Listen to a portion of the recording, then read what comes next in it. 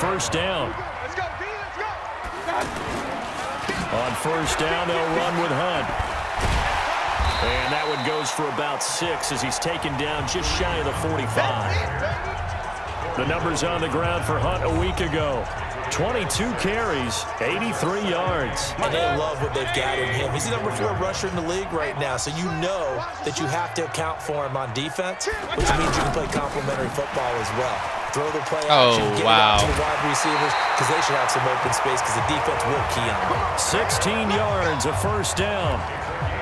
I like the screen being called here early in the game, especially on the opening drive, because, Brandon, when guys come out of the locker room, especially those pass rushers, they are so amped up to get to the quarterback that you can use that against them, and a screen pass is a great way of doing it. A lot of teams against good pass rushing teams, they want to run the screen 10 to 12 times in a game.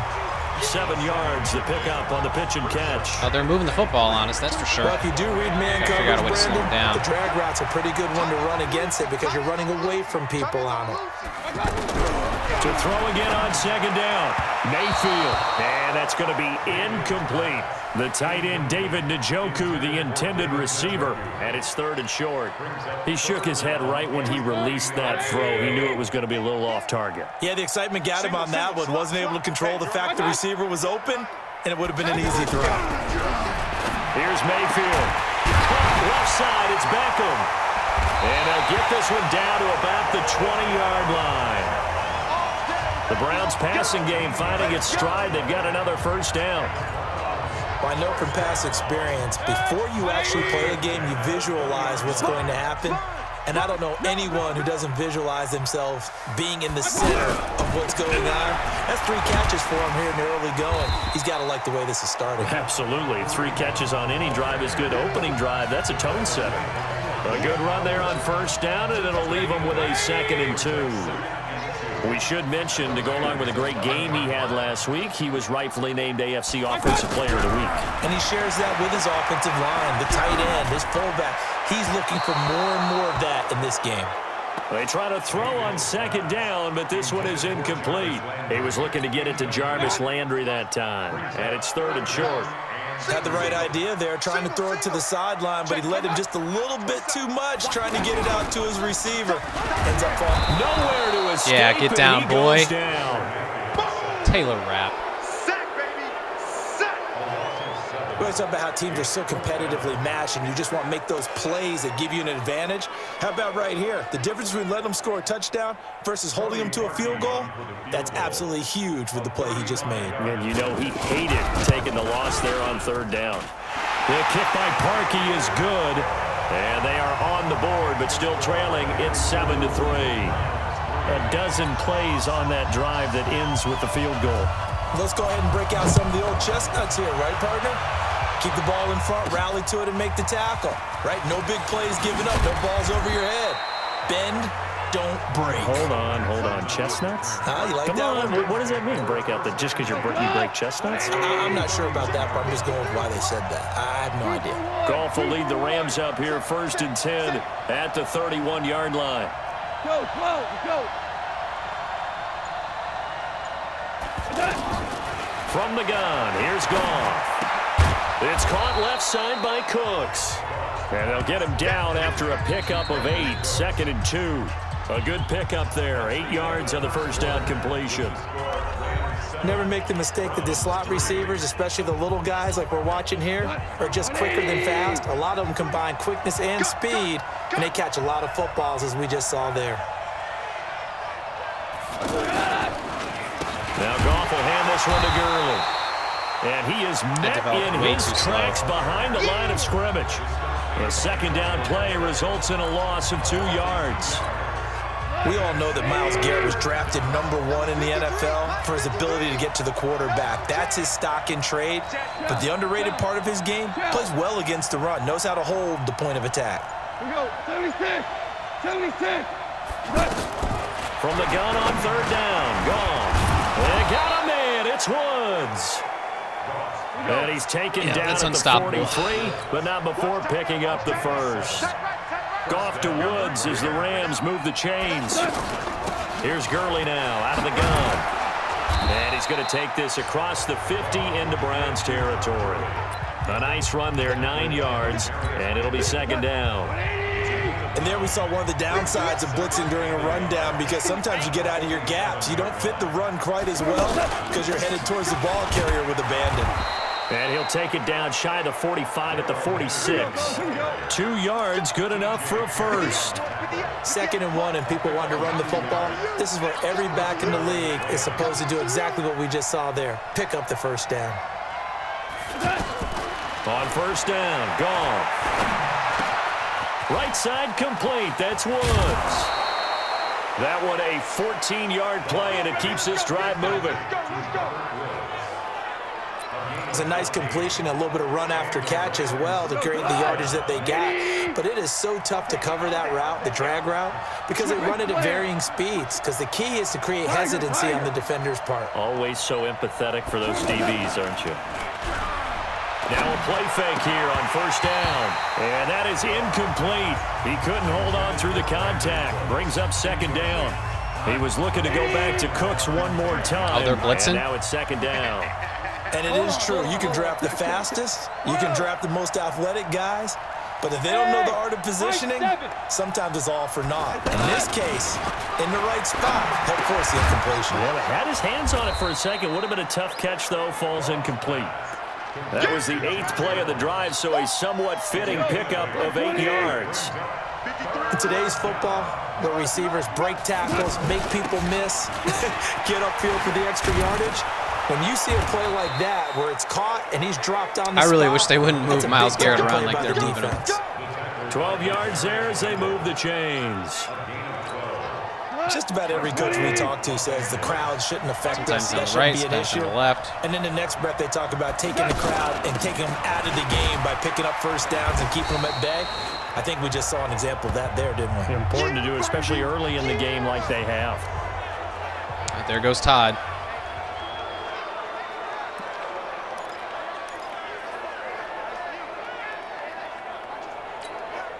The first down run got five. Here's second and five.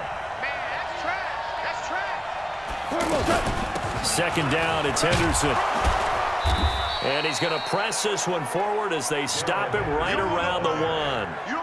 After a gain of five, they'll wind up being about a length of the football short here on third down.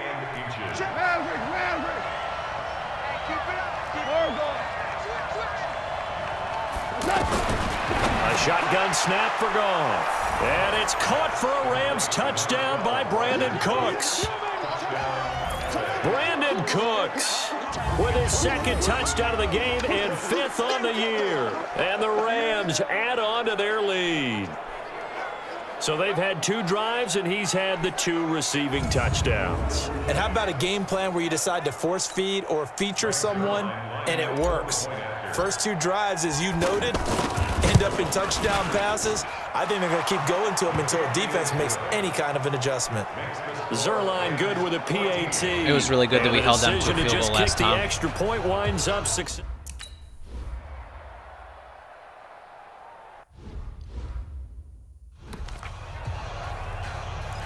Well, good thing we're training Henderson because Gurley could be out a couple weeks.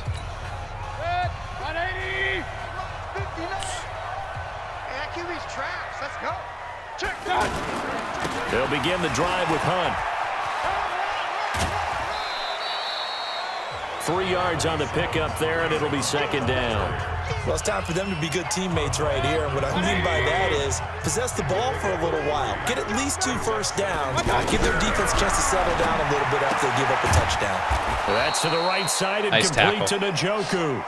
And it oh, appears we've got There goes member of the Littleton. Rams shaken up on that last play. Well, he gets attended to. We'll step aside. The Browns on third down. They've been okay, two for three thus far. This is third and eight. From the gun, Mayfield. He's got Njoku, his big tight end. They stop You had to get eight yards. Why would you throw it four yards? Fourth down. Now, that tight end position, it just seems to continue to evolve every year in the NFL. Yeah, you're getting really terrific athletes. A lot of them maybe were wide receivers at one point. They continue to give you speed, great hands, and big bodies, which make them excellent targets for quarterbacks. So on fourth down, Britton Colquitt on to punt. JoJo Natson back deep. And he gets this away, and look at this. This is a good one. And that one hits a little too close to the goal line, and it continues into the end zone for a touchback. Elbow sprain, okay. It'll be okay. Want to remind you that coming up tomorrow night, we wrap up week three with a good NFC battle. A couple of teams that have been around a long time. Bears and Redskins from FedEx Field at 8.15 Eastern. And he's going to get seven out of this before being taken down at the 27. Well, no matter how they phrase it, staying on schedule, staying ahead of the sticks, whatever you want to call it, seven yards on first down, that fits the bill. From the 27, Goff. That's caught by his Yeah, tight boy. end, Gerald Everett. How are you gonna double down A gap blitz me? But he takes it up to the 40. How you gonna double A gap blitz me? All right, let's let this clock run out. Take it all the way down to the half. We've got a So we have 14-3 Cooper Kupp ball hurt, game have with two Todd minutes Gurley left hurt. in the opening half. Cory Littleton is now hurt. Coming up at the half, a reminder we go back to Orlando to check in with Jonathan Coachman. He'll have a look back at our first half as well as a look ahead to what's coming up later this weekend. A gain of three, second down. Not much happening there on first down. I thought there might have been a hole for a split second. Yeah, but it dried up pretty quickly, didn't it? Closed fast.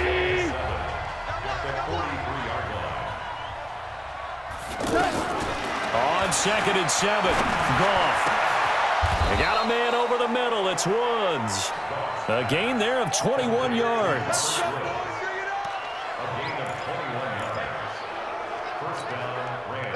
Goff now. Only one pass has hit the ground for him. 10 of 11 thus far. It's first and 10. Here's Goff. And that's going to be incomplete. Too tough to hold on to that one. It's second down. Well, the incompletion, yes, but maybe here not the worst thing in the world? No, not on first and 10. Actually gives them a chance to regroup, relax just a little bit. They huddle up, talk it over. Then they get a chance to continue their drive. On second and 10, Goff. Working the middle here. That's complete to Everett, the tight end. And they're able to get this one past the 30 to the 25-yard line. 11 yards there, first down. And after that completion, you can understand why so many teams in the league are emphasizing speed on defense at every position. The tight ends have created so many tough matchups now. If you can't run with a tight end as a linebacker, this is going to be the result every time. Call a timeout there. He's going to go ahead and use the first of Gonna their bleed this timeouts. clock out. Bleed As it the out. clock will stop with 35 seconds to go in quarter number two. Even if I just kick a field goal, I'd be happy with it. I honestly would.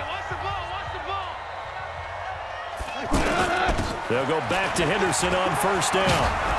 And he'll get into the He got end in. zone. Touchdown, Rams. Darrell Henderson, his second touchdown on the season. And the Rams add on to their lead. Heard a coach talk about those late in the half scores, especially ones that give your team a pretty decent cushion. He said, Oh, this is blocked. The Browns have it. But he doesn't get far. They're able to stop on, him. son. And after all that, the extra point attempt unsuccessful. I remember when What are you going to do, Baker? You got three timeouts. You going to go into a three tight end set? Heading out as the Cleveland offense now as they get set to take over here. You've got less than 30 seconds left here in the half. You're well on your own side of the field. What are we doing here, Coach Davis? Well, I'm trying something on first down, and it's something that's safe. It's something that's been done many times before. A lot of people say it's not even worth trying, but I'm running a draw. I'm running a screen. I'm seeing if something pops, and if it does, that can alter my strategy and potentially get me some points. And if it doesn't work, well, then you just run the clock out and go to Oh, the what a locker room. play. And they're going Nice to be waiting for Appleton. him as they get him behind the line. So we've come to halftime. It's the visiting Rams taking the lead to the break. As we send you down to Orlando where Jonathan Coachman has our EA Sports halftime report. Coach. All right, Brandon, thanks very much. We'll get back to you and Charles in a minute. But first, Very well-rounded time to give the folks at home a look at what's going on around the NFL. We'll start up at TIAA Stadium in Jacksonville. And as you see, they were winners back on Thursday night. 24 8, the final score.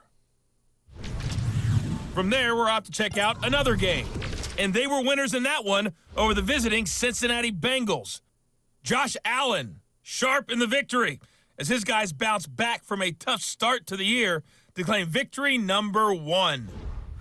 And finally, on Monday Night Football, a good one in the NFC Bears, Redskins from FedEx Field. Meanwhile, in our game, it's been a back and forth first half. Who can put it together in the second half? For the answer, we turn it back over to our broadcast team of Brandon Gaudin and Charles Davis. All right, Coach, thank you, and we welcome everyone back Yeah, stretch for out. quarter number Get all stretched out. They don't have a prayer.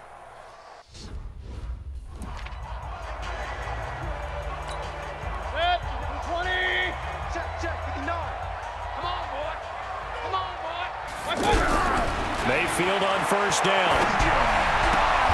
Completes this to Callaway over on the right side.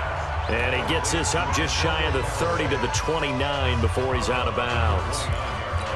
I am not going to give up the big six, play. just inside the 30. Here we go, see? Here I come. Here I Watch out.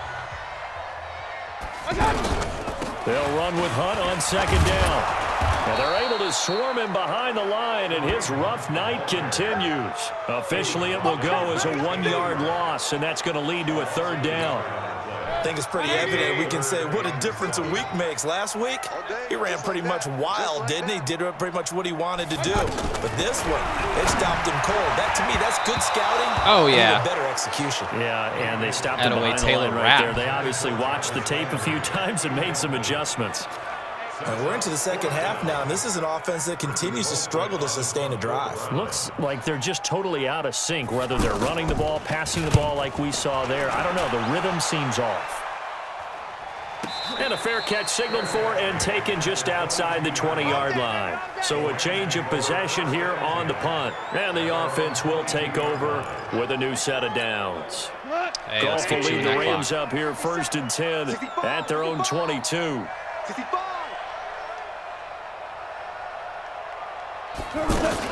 They'll run with Henderson here to begin the drive. And he's got some space here. And they'll get it all the way up about five yards shy of midfield. Attaway, Darrell. Good yardage as he rumbles for 24 and a first. This is a little bit like baseball here. Strong up the middle. Both sides want to be that. In this case, the offense ended up winning the ultimate battle. And those big runs between the tackles, that's a little deflating for a defense, isn't it? It really is because that's where your strength's supposed to be. You're supposed to be in a spot where they can't make that yardage there. You're supposed to send them outside. Not in this case. Six yards was the pickup on the last completion, so here's second and four. From the gun, a give to Henderson. And he's going to take Oh, this I couldn't make across him miss in a phone 50 booth. into Browns territory. Third quarter and you've got the lead. You're not ready to go into that four-minute offense to close the game out, but a running game can really benefit your team right now. Let's go. Check how you run. Hold on, hold on, hold on. Check, check, check. Hey, Zoo. Goff wants to throw on third and one. This pass complete to Reynolds. And He got him. into the end zone. Touchdown Rams. That was a long pass. Josh Let's go. Reynolds, his first touchdown. you can't blitz the the safety on me. Leave him in the the middle of the field wide open. To their lead. And a What a nice block. job by him to catch the slant and then navigate and break free. What a And block by receivers Cooks. love slant routes because it gets the ball in their hands so quickly and oftentimes on the move. And when they're on the move like that, then they get to use their best asset, which is usually their speed. And their speed sometimes, like this instance, can take them into the end zone. Zuerlein now for the PAT. We are just pounding. Pounding. And the lead is now 24. Just a four-play drive that time. And it winds up with a touchdown for Los Angeles. Out is the kickoff unit as they run up and send this one away. I don't think I've punted all be of these three games yet. zone. And no run back here. This I've only fumbled a couple touchback, And times. it comes out to the 25-yard line. And now Cleveland geared up to take the field. They're down three touchdowns to this point, needing to put something together as they have it first and 10. Just let you guys know I am playing on lead the All-Pro. Browns up now first and 10 at their own 25-yard line. And it's been Before you guys this say, uh, I'm playing on Pro Nowhere to Rookie. I'm not playing on All-Pro. behind the line. It's a loss of a yard there, and it's second down. But these guys going to chop into that deficit. Just to prove it, I'll show you in the menu here. Go to settings. All Pro simulation. All Pro simulation. And do we have an injury report? Can we get Todd Gurley's uh, status? He's just out for the game. Okay. Cooper Kupp is still got two weeks left. In the run game. Caught behind the line of scrimmage. No yardage to be found. After the loss to start out, here's second and 11. Here I come. Here I come. From the shotgun, it's Mayfield. Throw left side, caught by the tight end, Njoku. Four yards on the completion, and it sets up a third down. I think it's okay there. They didn't get a whole lot on that play, but it's nice to have a safety valve that's built like this guy. Big target, guy you can spot. What are you doing? Put it on him when your other targets aren't open. Now a shot taken on third down, but should've it's been going to wind up incomplete. Well, that certainly looked like something that they discussed all week in practice getting ready for this one. Take the big shot right out of the gate. At worst, you'll open up the defense a little bit, loosen them up, have them back I on like their how heels. Baker is playing like a gunslinger, though. I like that. That's how he plays.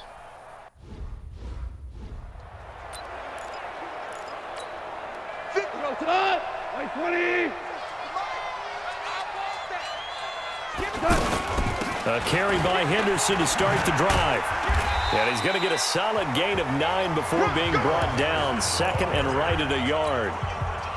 And that run there does nothing but juice up the guys who are moving the football. I mean, if you're an offensive lineman, people running it, actually the guy calling plays, you're almost jumping up and down in jubilation, aren't you? Yeah, now you've got options on second down. And big-time options. You might want to think about play action and try and get something cheap right here over the top. And he'll get this up to the 30-yard line. That one good for a first down pickup of 18 yards. They're trying to show that they can run the ball and protect this lead. Give it to the backs, play a little bit of keep away, don't you think? And that's probably a good philosophy at this point, going to make that defense stand up and stop them. Back-to-back good plays have them on the move on first down. Shotgun handoff to Brown here. And Oh, yeah. down, but not before Just fall forward, baby. Keep falling forward. line. Another nice gain. That's now 30 yards. My our running back unit is just so deep. Plays. On any explosive run, you can almost feel the ground shaking, and that's from the offensive linemen creating space for their runners. I had an old coach tell me before, they always told his runners, run around the offensive line in pregame. Get used to the ground shaking so you don't trip and fall when it happens in a game. They go play action here on first down. And this will be incomplete. Physical play on the football there, and it's second down. He was looking to go back to Cooks one more time, and it's second down. Brandon, it looked like he had his hands on it for a moment, but let, us face it, that was going to be a tough catch all the way because of the presence of the defense right there as he was trying to haul it in. Yeah, Just nice keep job pounding to force the incompletion. Nine yards on the pickup there as he'll be left with third and one. Well, that last run makes this a 100-yard night. I've loved the way he's hit the holes. He's been quick, he's been decisive, and he's been a whole lot of fun to watch. Goff on third down. Throw left side to Reynolds. And they'll get him down as he's inside the 40. It's an 11 Man, Goff's short to medium passing range is just so deadly accurate. Gotta say, I was a little surprised to see him, Charles, come out in the shotgun on third and less than a yard. Yeah, but the way the NFL is nowadays, we hardly ever see anyone really run for it on short yardage. So they're going to throw the football more times than not. That was a nice, easy rhythm throw right there, and they pick up the first down. Same exact result as last play, a pickup of 11. Looks to me like maybe there's a little attrition setting in with this drive, because when you see that type of a run, I get the feeling the defense getting a little bit tired. And that's the last thing they need, especially when they look up at the scoreboard. 76. 76. Now a first down throw, gone. Looking for Cooks, and it's Ah, intercepted. Picked off by Damarious damn it. He's going to take it all the way. And it's a big turnover there on the final play of the quarter. One quarter remains here on a Sunday night. We'll return with more after this. You're watching the NFL on EA Sports. 180. We're pretty quiet, D. We're pretty quiet. On first down, it's Hunt. Trying to bounce it outside, but he's only able to get it back to the line of scrimmage. No gain on the play. It'll be second down. This run defense has been pretty stout all game long. Now you're here in the fourth quarter. Let's rely more on the passing. It's Njoku pulls this one in. He's got it for a Cleveland touchdown. David Njoku, his first touchdown here of the new campaign. And the Browns take advantage of field position on the turnover to cash this one in. And Pointer, they found a gap there on the post pattern in the middle of the end zone. And ordinarily, that's a tough spot to find because there's usually coverage.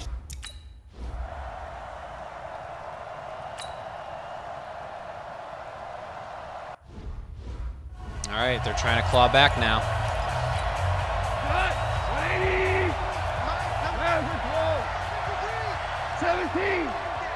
17.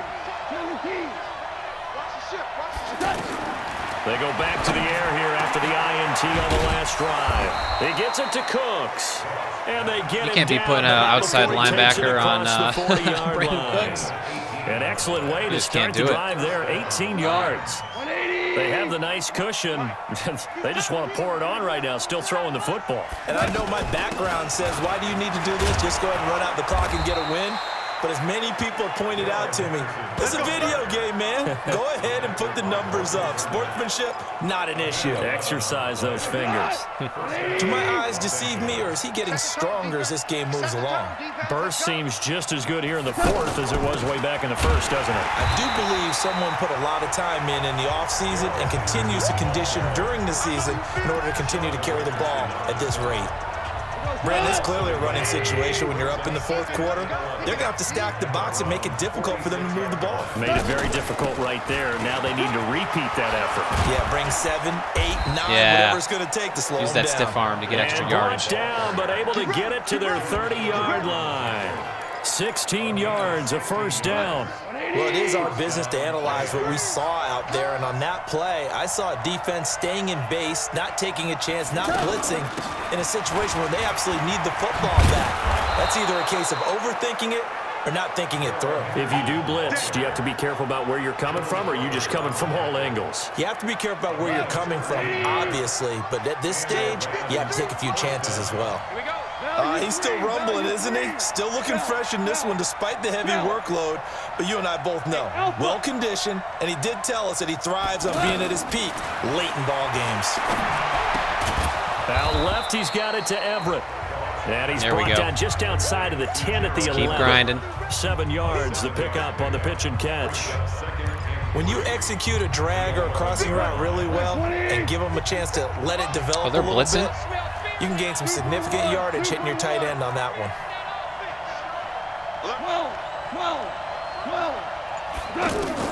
Throwing again on second down. Goff. Gerald And Everett. He's going to take this Yeah, one boy. for a Rams touchdown. Wide open.